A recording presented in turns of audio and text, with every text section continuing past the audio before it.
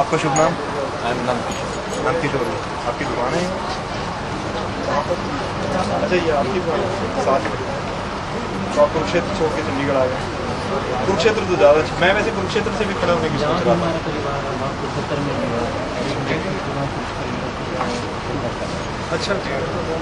है में engineering college में मेरे मामा जी हैं। अच्छा। ये सेक्टर मैं भी सेक्टर इंजीनियरिंग कॉलेज से चार बस भर के रख के आए थे मेरी कंपेयरिंग करने के लिए सारा कॉलेज पंजाब इंजीनियरिंग कॉलेज मेरे साथ लगे हुए मैं एटी टू में छोड़ा मैं इंजीनियरिंग एटी टू में? तो हम एटी वन में जब पाँच साल का होता था ना जब हम एटी सिक्स में पास आउट हुए एटी सेवन से फिर चार साल का हो गया। पहले तो मेरिट बेसिस पे होती थी एडमिशन आप कहाँ पर थे?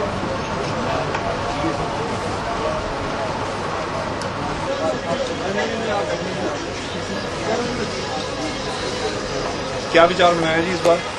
वोट डालेंगे कुछ बदलाव लाएँगे कि वही पुरानी कहानी तो बदलाव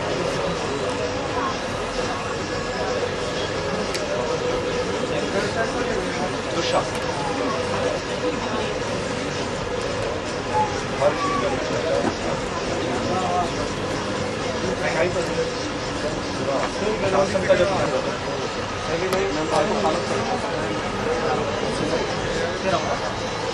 ऐसा हो जाता है कि मैं आना भी इसलिए होता है क्योंकि मतलब शहरी वोट है, उनको पता है शहरी वोट पड़ती कम है।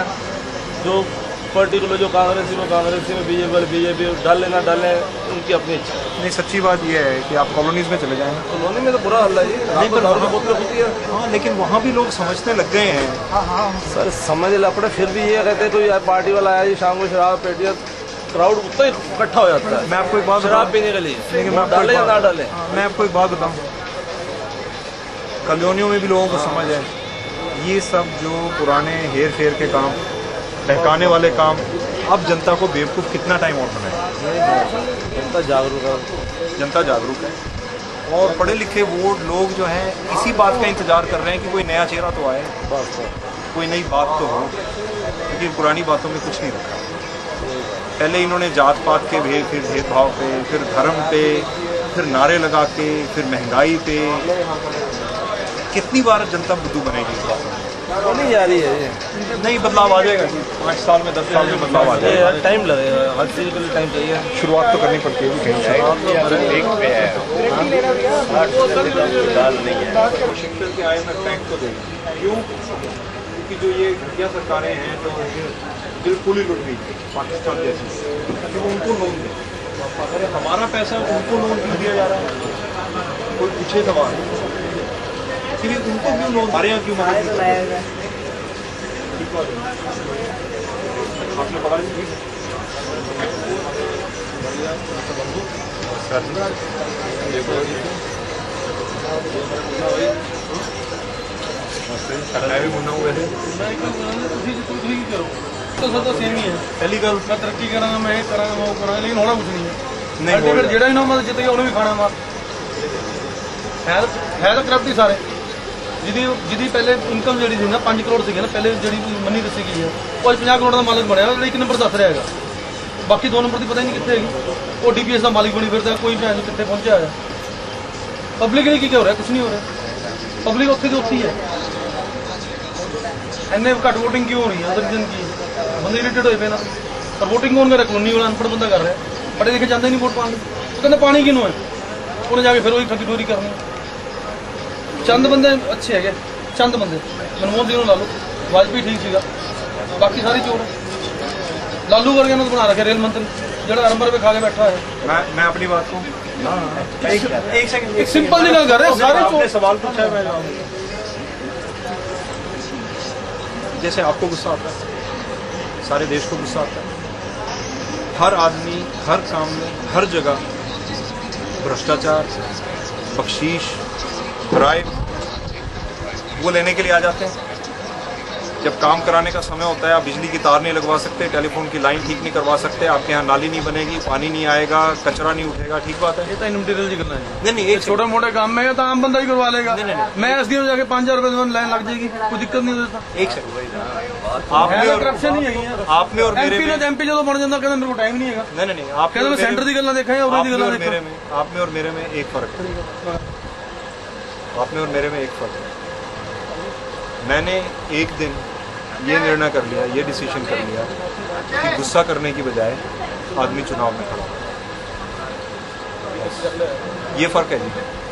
अगर हम यही सोच के बैठे रहें कि सारी जनता भी चोर है कि जो आदमी आगे आया है पहले उस दिन उसको पहले दिन से गाली देनी शुरू कर दो कि जो आदमी खड़ा हुआ है कोशिश करने मतलब की साल पहले उन्होंने देख लिया कि कितना खाता है मैं तो आदि करेगी।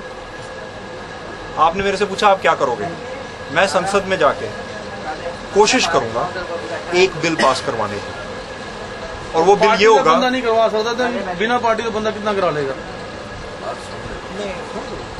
अगर जनता का ज़्यादा विश्वास इस बात में है कि पत्थर की मूर्तियों के सामने जाके जो मांगेंगे वो मिल जाएगा थोड़ा सा विश्वास इंसानियत में भी रखिए। ऐसी बात नहीं है इस देश में सौ साल पहले राजनीति में दुनिया के सबसे अच्छे सबसे पढ़े लिखे सबसे साफ़ सुथरे लोग थे। तीस चालीस साल कुछ बुरे लोग आ गए, कुछ परिवारवाद आ गया। लेकिन मैं आपको 100 परसेंट विश्वास दिलाता हूँ, मैं नहीं, हमारे जैसे हज़ार खड़े हो जाएँगे, इस देश में पाँच साल में, दस साल में बदलाव आ जाएगा। पहले हमारे यहाँ जनता अपड़ थी, उन्हें गुमराह कर देते थे, उन्हें धर्म के नाम पे गुमराह कर देते थे। आज की डेट में आपको कोई बेवकूफ़ नहीं बना सकता, सर। आप जैसे बहुत लोग आ गए हैं जो सोच विचार करके वोट देंगे, गुस्सा करने का कोई फ़ायदा नहीं है। जूते मारने का कोई फ़ायदा नहीं है वोट मारे इनको। क्यों मारी है? जिसने गलत काम किया हमारे आपको पता है पंद्रह प्रत्याशी खड़े हुए हैं। हम्म। मैं आपको बता सकता हूँ कि उसके अंदर कुछ लोग बहुत ही सच्चे लोग हैं। आप तक बात नहीं पहुँचा सकते क्योंकि उनके पास पैसे नहीं। ठीक है जय बेटे तो नहीं नहीं ये सब मत करो। ये तो सर एक पॉलिटिक्स लग चीज़ है फैमिली और माहौल एक लग चीज़ है। नहीं मेरे को तो बात करके अच्छा लगा। तो देखिए कुछ विश्वास इंसानियत में भारतीयता में बेटे पीछे इनको दे। अच्छे लोगों में? देना भाई। मार्ट कमांडर भाई पीछे से भाई। अगर संस्कार वाले आदमी को वोट देंगे तो कुछ संस्कारी काम करेगा। अच्छे परिवार के आदमी के साथ जुड़ेंगे अच्छे काम में लगाएगा।